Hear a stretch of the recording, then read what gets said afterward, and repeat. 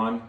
So we're going to attempt to teach the boys here how to prepare chicken curry and some samosas, which are from the uh, Asia subcontinent of India. And uh, we're gonna do kind of like a working family type preparation, which is gonna be like quick. It's gonna take a little bit less time than the traditional, but it's going to be uh, very good and tasty at the same time. So uh, glad you're here with us. So the first step that we're gonna do uh, for the chicken curry is we're going to peel and cut our potatoes. So uh, that's what we're gonna do right now. All right, so we're going to make the curry paste now, right? So we're going to take an onion, and we're gonna cut the onion into four pieces, and we're gonna put it in a blender, okay?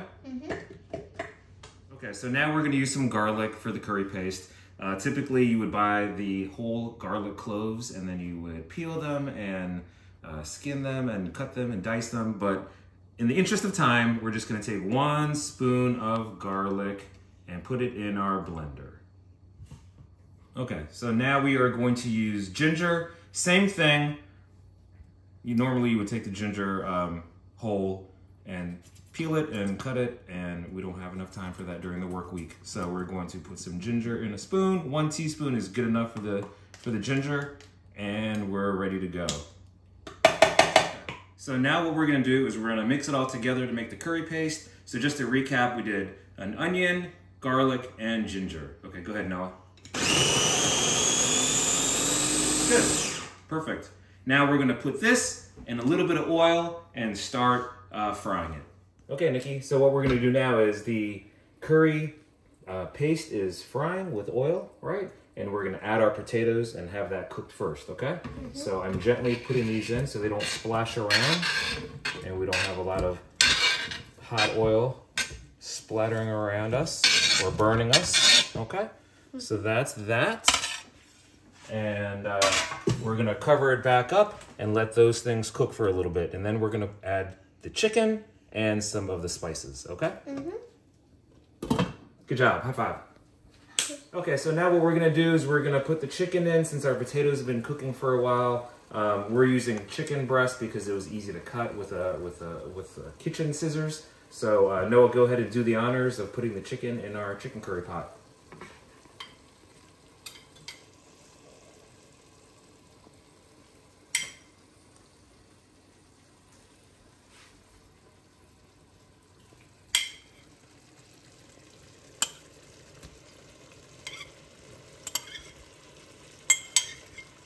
Good job.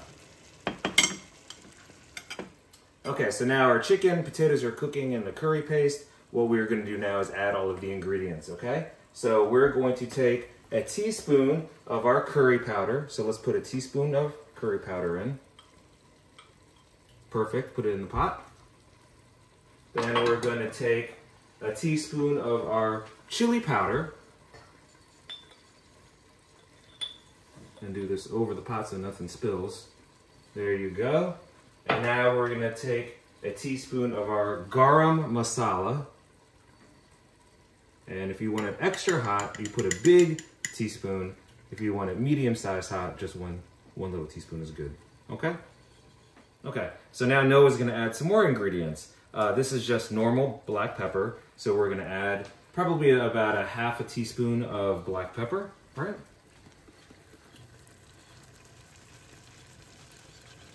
Okay, and then we're gonna add, uh, for this portion, we're gonna add probably um, a couple of good shakes of salt.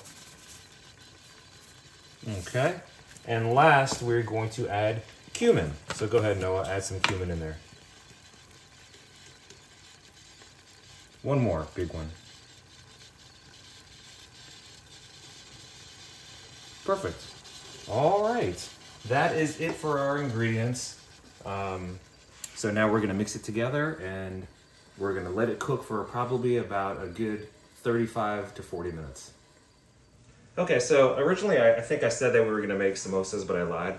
Um, we're gonna do something from my home state, Orissa, which is in India on the East Coast, which is called a pastul. And it's almost the same thing as a samosa, but instead of it just being filled with potatoes, it's gonna be filled with uh, ground beef, a little bit of potatoes, some onions, and some peas. So Nikki is gonna help me put the onions and the potatoes in our ground beef that's already brown. Okay, come here, Nikki. Go ahead and slowly slide all that in. We got the onions and the potatoes.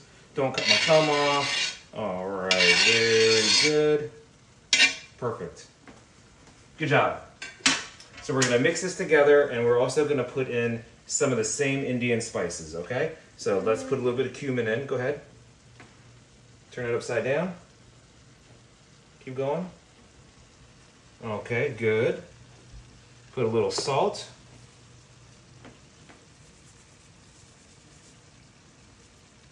Good. And a little bit of black pepper. Very nice. And we're going to let that cook for a little bit, and then we're gonna add a few more ingredients. Okay, so we're gonna use some of the same spices for this pastul, um, except for we're gonna cut the portions down to a half teaspoon of each. So why don't you put a half teaspoon of each of these. Um, that's good. Okay, put that in there. Take this, put a half teaspoon in, half teaspoon. Okay. Good.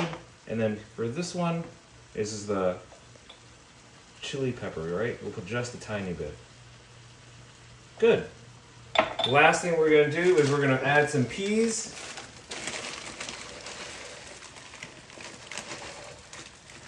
And we're gonna mix it all up, and that's gonna be the filling for our pastul. Good job.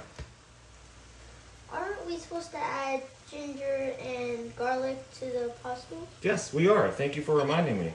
So we're gonna add just a tiny bit of garlic. Again, if you wanted this to be fresh, you would get the fresh ones from the grocery store and you would add it in. So just a little bit of garlic and ginger. And the other thing I forgot to tell you is we added a half a tomato to the chicken curry just to give it a little bit of extra um, goodness. Right now what we're gonna do is we're also gonna add some peas to the chicken curry, but you can add whatever vegetables you want. Some people add cauliflower, some people add green beans. We're gonna add our frozen peas because they, they taste well with the chicken curry. And we're mixing, and if we wanna add more, we can. And we're gonna let that thing simmer for a while. You wanna give it a good stir, Nicholas? Mm-hmm.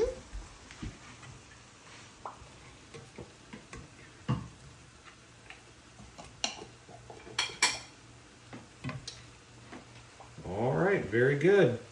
Okay, so now we are ready to almost eat. Um, we have finished our chicken curry, and it's got the peas, potatoes, and chicken with all of our good curry sauce. Next, we have finished the uh, pastel filling, which is ground beef, peas, and potatoes. And now we're making something called uh, parota, right? And a parota comes in these little frozen flat pieces, and you just warm it up with a little bit of Pam spray. So we're gonna uh, we're gonna choose to eat bread today. A lot of people eat rice with their chicken curry, um, but our family likes prota. You guys like that, right? Yes. Okay, very good. So we're gonna cook this up, and then I will take a, a quick video of the final presentation of what it all looks like. You guys hungry? Yes. yes. All right, good. Okay, so we have our final product. We have a parota. Uh, you can make it from scratch, but we got the frozen kind so we can uh, quickly eat it. We have the chicken curry. So there you go. Son, thanks for cooking it. Thank you. Nikki, come here. Are you ready for yours? Yes, sir. Okay, do you want rice or you want parotas? Parotas. Okay, very good. We'll get you in one second. All right, Nikki, thanks for helping cook some chicken curry and some parotas. You're all ready to eat. Thank you. Bon appetit! All right, so now uh, we have eaten our delicious chicken curry. How was it, guys? Awesome. Was it spicy? A little. A little bit? Did we put a little bit too much? Yeah, maybe. It was still really good. Perfect. It was still perfect. good. Okay, good. So now we're done. We cleaned up the kitchen.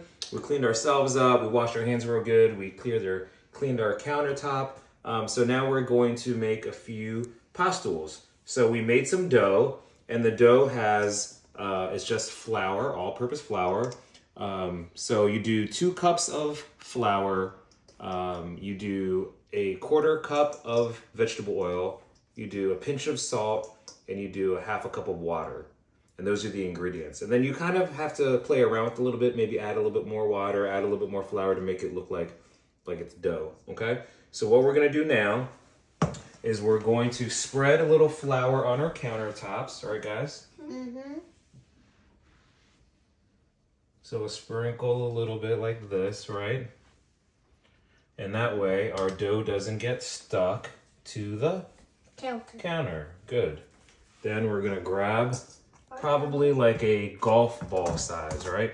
Mm-hmm. Like this, right? And we press it, okay? Nikki, can you grab that? So we put on one side, we put on the other side, okay? Now we're going to roll it. Now, what's the shape of uh, a, a pastel? Like a big circle. Tell, tell our friends here. Like a big circle. Like a big circle. Okay, so let's try it. Go back and forth. Good, It might stick a little bit. good. Now, when you're done with that, then you do it this way. All right, and then you go back like that, and you go back like this. All right.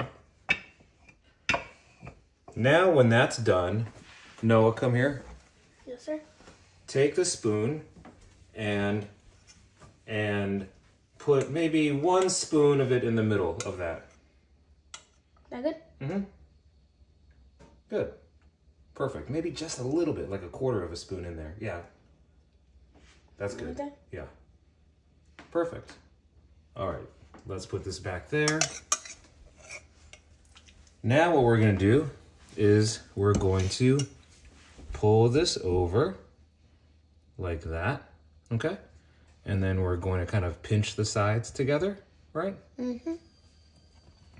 Then we're going to kind of shape it and make it look a little nice, right? Mm-hmm. So I kind of just pinch it like this, right? And we are done. And that's what one of them looks like. So what we'll do is we'll make maybe about 20 of these and we'll freeze it. And then on a later day, we'll fry it in some hot oil. It'll taste yummy, right? Okay, great. Thank you. All right, so this is the day after. Uh, pastels were frozen overnight to make it easy to fry. So we've fried up a lot of these pastels and we're almost ready to go. Um, I'm actually taking these out because I don't want the kids to get hurt uh, with hot oil, but these ones are nice and cool. So why don't you guys take a plate and pick out uh, pick out a um, I'm taking this one because I made that one. Okay. I want this one because I made this. Okay. Very good. Very All right, you guys take it, Okay. go eat, It's yummy. and you know they're all different shapes and sizes, so um, you can have fun with it. Um, and that's it. So uh, hopefully you guys have a great uh, Asian uh, American Pacific Islander Heritage Month, and we were so happy to be able to do this for you guys. Take care.